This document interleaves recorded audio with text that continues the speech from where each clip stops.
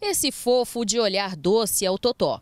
O pequeno vira-lata de 6 anos de idade vivia nesse barracão com a dona, uma mulher de 38 anos e os dois filhos adolescentes dela. Mas no começo da semana a família se mudou e, sem a menor cerimônia, simplesmente abandonou o Totó à própria sorte.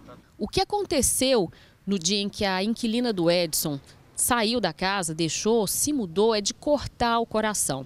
O Totó estava por aqui, no jardim, a família, né, encaixotando coisas, objetos, móveis, arrumando mala. E segundo eles, Totó correndo para lá e para cá, naquela felicidade, achando que ia junto. Simplesmente a família saiu, o caminhão de mudança embarcou e o cachorrinho foi deixado para trás.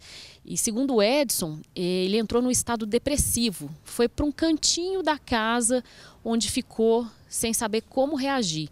No começo ficava um pouco agressivo até, né, Edson? Ficou bem agressivo. E depois é que você foi conseguindo se aproximar Isso, fui conseguindo aproximar dele, levando petisco, né, colocando comida, que cachorro, e andando com a coleira, mostrando ele para ele passear. Com isso ele criou um vínculo muito forte comigo, né? Tanto que você está vendo que virou um grude.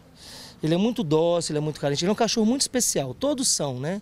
Mas ele, assim, ele é bem especial. Ele é um cachorrinho que precisa de um, de um lar, de um conforto, de uma família. Edson, o dono do imóvel, gostaria muito de ficar com o Totó. Mas ele já tem o Calil, a dona e a Liz.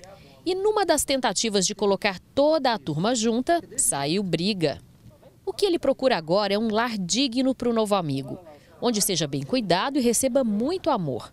Por isso, postou a história triste nas redes sociais. Ele é um bom, um bom companheiro, ele é um bom cachorro de alerta, né? Ele, é, ele, ele precisa sim, ele é um cachorrinho que vai fazer muito, alguém feliz. O titular da Delegacia de Meio Ambiente diz que casos de abandono e maus tratos são cada vez mais comuns. E mostra uma das denúncias de um cão mantido preso numa gaiola, debaixo do sol quente e sem água nem comida. E o delegado faz o alerta: maltratar animais é crime. Um cavalo puxando uma carroça com muito peso, isso é abuso.